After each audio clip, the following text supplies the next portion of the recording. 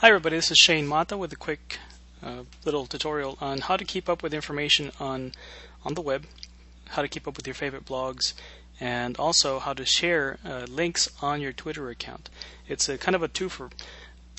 What I use to keep up with news is a service by Google called Google Reader. So you can go to reader.google.com and when you enter that, it'll bring you to this uh, service here. Let me just go to my home page. It'll look like this, more or less, except that, of course, you won't have any uh, blogs that you follow. So what you would do in that case is pick your favorite blog, for example. Let's say TechCrunch. Uh, it could be a blog or website, and you look for this symbol here, a subscribe button that has RSS.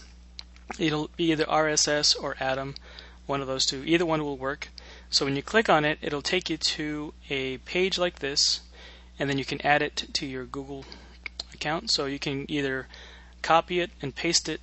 Here, let me just do the copy and paste option.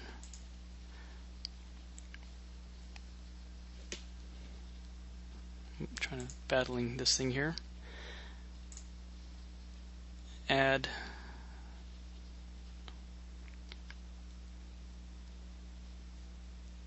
subscription. I got lost there. Like that. Then you click on add, or a lot of times they'll have something like this a button that you can click on with Google, and then it asks you if you want to just add it to your homepage, which is your iGoogle account or page, or add it to the Google Reader. So you can add it to Google Reader like that. And there you go it, be, it becomes part of your your uh, news feeds. So that's a, the easy, simple way of, of adding uh, a blog to your feeds, and that way you're able to keep up with information in that way.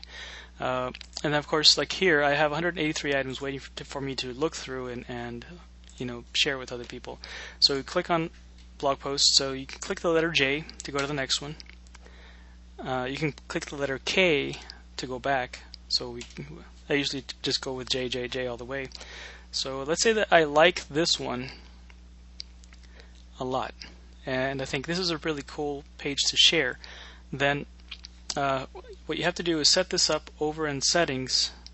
Uh, let me, hold on, let me just share it real quick, and we'll come back to that in a little bit. So let me just share it, and now click on settings over here. I want to show you that you can choose where this um, these things go.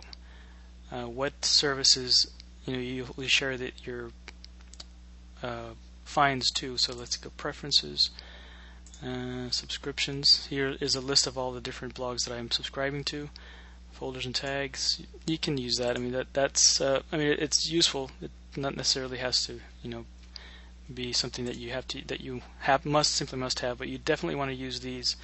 Uh, to share your information. So uh, whenever you share, it actually shows up on your um, oops, wrong one. Let's go back here. Goes into your um, Twitter. So I just shared it a while ago, so we'll go over to my Twitter, and you'll see right here it's already been shared, right? So uh, that's how I'm able to go through a lot of websites all at once, you know, in one sitting without having to click from web page to web page. Because one thing that happens is, let's say you visit a, a blog and you read an article, and then you see something interesting, then you click over to the next one, and before you know it, you've been through so many different changes of direction that uh, you're not actually focusing on what you were going to do in the first place. So this is not only a great way of batching all your reading, but it, also keeps you from getting distracted and visiting websites that you otherwise would not have visited. So, uh, anyways, those are a couple of tools that I use to keep up with information and to share some of the the great uh, items that I find in uh, in my searches.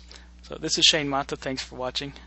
We'll bring you another uh, video soon with more tools and tips on how to make the best of your online experience.